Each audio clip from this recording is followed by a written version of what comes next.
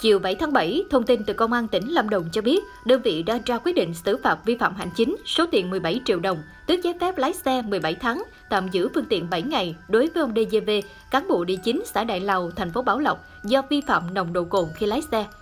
Đồng thời, Công an tỉnh Lâm Đồng cũng trao đổi thông tin tới Ủy ban Nhân dân thành phố Bảo Lộc nêu về công tác để chỉ đạo xử lý cán bộ, công chức theo quy định.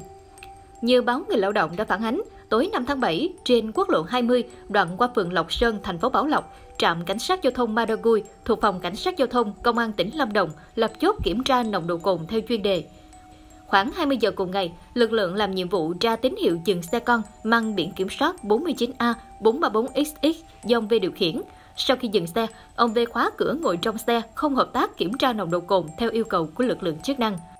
Sau hơn 30 phút vận động thuyết phục, lực lượng cảnh sát giao thông đã tiến hành đo nồng độ cồn của ông V và ghi nhận nồng độ cồn ở mức 0,363 mg trên lít khí thở. Khi bị lập biên bản vi phạm hành chính, ông V bất ngờ giật giấy tờ xe trên tay cảnh sát giao thông rồi khóa xe và rời đi.